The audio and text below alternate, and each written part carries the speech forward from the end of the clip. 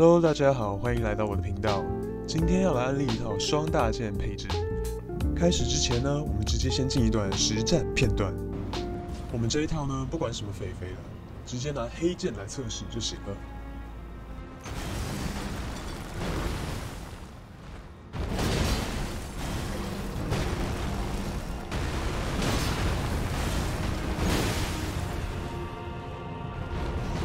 可怜的黑狗狗，有没有人觉得黑狗狗穿帽 T 的时候很可爱，然后变黑剑的时候又很帅？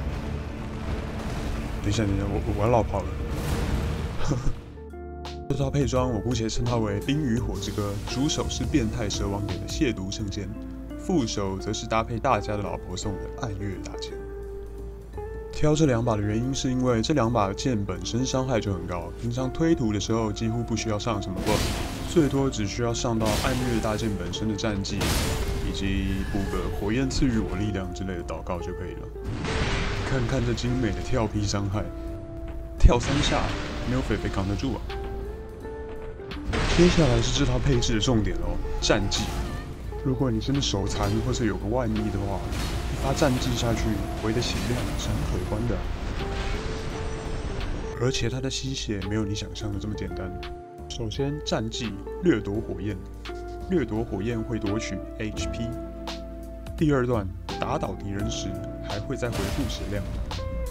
砍出处决之后，配合致命一击回血的染红凶刀护符，又可以再刷一口血。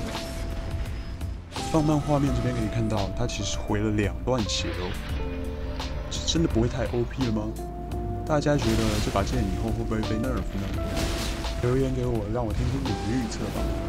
而副手拉尼的暗月大剑则是带有冰冻伤害，而且本身伤害面板也很不错。而且最重要的是，各位你可以成为拉尼的勇士啊！I am the tarnished blade of Rani。而且这把暗月大剑还可以打出剑气，配合主手的掠夺火焰，可谓远可攻，退可守！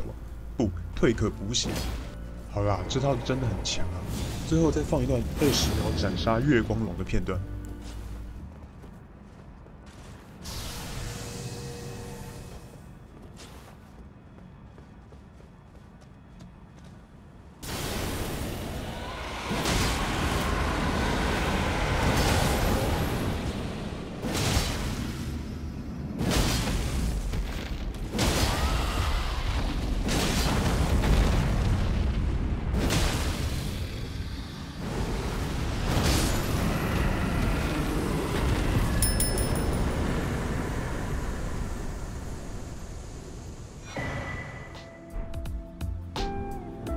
护符方面必备的有加强战绩的亚历山大碎片，以及强化跳砍的钩爪护符。其他的位置大家可以自由搭配，也可以试试我推荐的染红胸刀，因为这一套很容易打出处决。致命一击之后呢，配上这个护符又可以再回一口血量。当然，BOSS 战的时候大家就看情况自己自由搭配喽。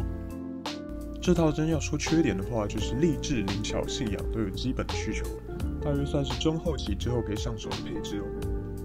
这一期的影片就介绍到这喽，我们下次见。喜欢的话，麻烦帮我订阅、分享、按个赞，对我来说就是最大的鼓励哦。